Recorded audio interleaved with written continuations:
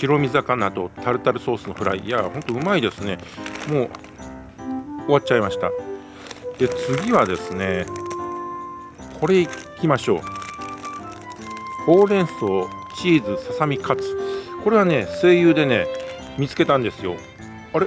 なんか見慣れたもんと違うなと思ったら新製品なのかあるいは新たに取り扱いをしたのかとにかく私初めて見たんでちょっと試してみます。これねちゃんとささみのねこの一枚肉に乗ってるのかと思ったらよく見たらなんかこれささみのなんかハンバーグって感じなんですよ。こっちの裏にもねこの書いてあるんですけどねここにつなぎパン粉って入ってますよね。要はやっぱりささみのミンチにこのほうれん草を乗せて、まあ、揚げたってやっぱりささみの一枚肉じゃねえんだなってね。まれにそういうこともあるんですけどね。なんかこの自然解凍 OK っていうのはね鶏の唐揚げもそうですけどね。こうゴロッとした肉じゃなくてこういったミンチの場合が多いんですよ、まあ、とにかく食ってみましょう。食って美味しければいいですから。さあどんな感じなんでしょうね、タルタルソースはねさっきの白身のタルタルソースはタルタルソース自体が調味料でしたからね。いいんですけどこれはまあ醤油かソースかけた方がいいんでしょうがとりあえずこれ単体で調味料なしで食ってみましょう。うんどんなもんでしょう？いただきます。時報なっちゃいましたね。まあいいや。なんかねこれささみの味がほとんどしないっていうかなんかチーズの味が強すぎますね。うん。ねなんかチーズそうささみの食感のするチーズって感じでねほうれん草の味もさほどしないしねほとんどチーズの味ですね。まあ試さないと分かんないですねこういうのはね。この時報が鳴るっていうことはもう17時ですね。うんでも本当17時にしちゃえらい明るいですね。今日は6月の15日。今年の夏至は6月の21日。まあですからね。それは日照時間長いですよ。こうやってね日照時間が長くて緑がいっぱい。で湿度が30%ぐらいで気温もね1718度って言ったら最高なんですけどね。そうはいきませんねほんとね。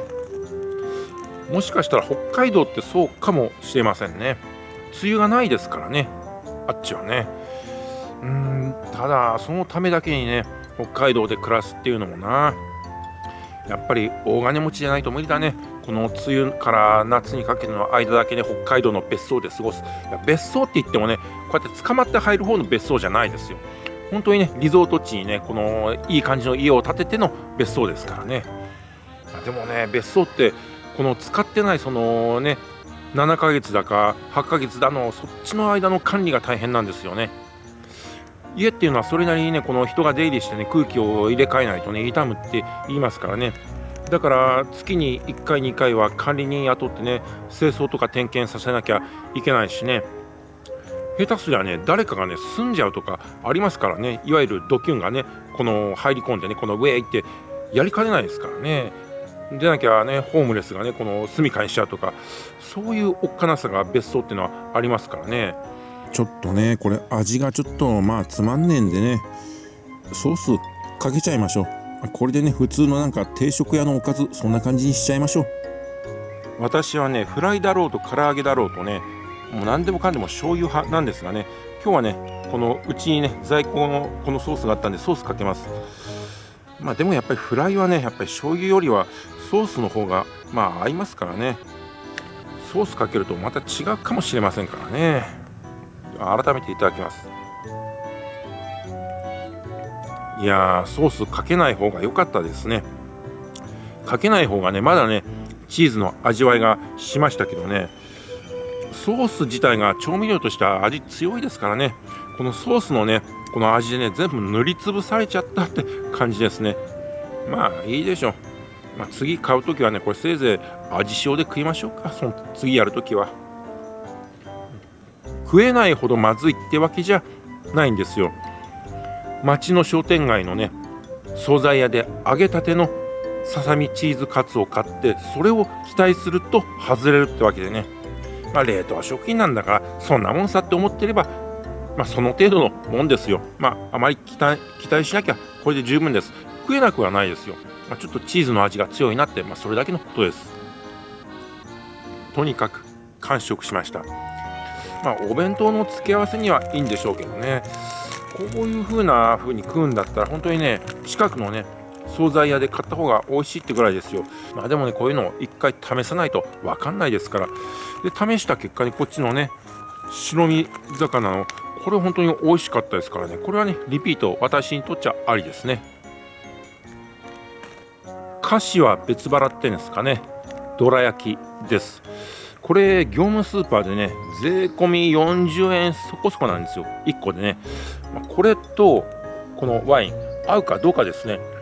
この前、葛原岡神社ね、カスタードクリームケーキでしたっけね、この箱に入ったね、パンケーキみたいなやつ。あれとね、ドイツのトロッケン、なんかそんな感じのね、この甘口のね、いいワイン合いましたからね、これとこれも合うんじゃねえかなって思ってるんですよ。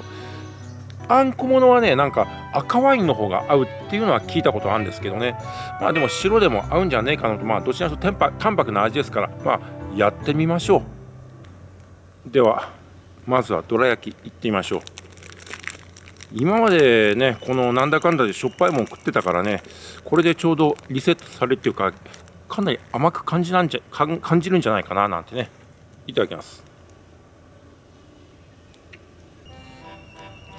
今までね、全然別系統のもん食ってましたからね、なんかこのね、この安いね、どら焼きでもね、ちゃんとカステラの風味と小豆のあんこの味しますね。これがね、何個もね、ショートケーキだの食った後だったら、もう大して感じないで、ただの甘いどら焼きだなとしか感じないんでしょうけどね。まあ、そんなしょっぱいもん食った後ならね、ちゃんとね、味がね、どら焼きの味、風味もちゃんとしてきますよ。こんな安いのにね。問題はね、これに、このワインが合うかどうかなんですよね。やってみましょう。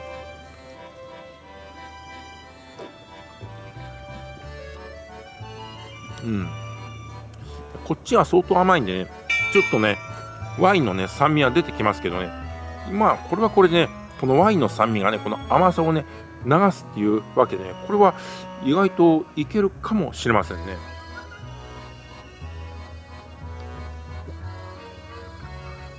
さほど喧嘩はしないんですけれど、やっぱり、うん、和菓子にはちょっと合わないかな。あのカスタードのね、パンケーキ、あっちの方が合いますね。やっぱりこういったね、洋酒にはやっぱり洋食の方が、洋菓子の方が合うかもしれませんね。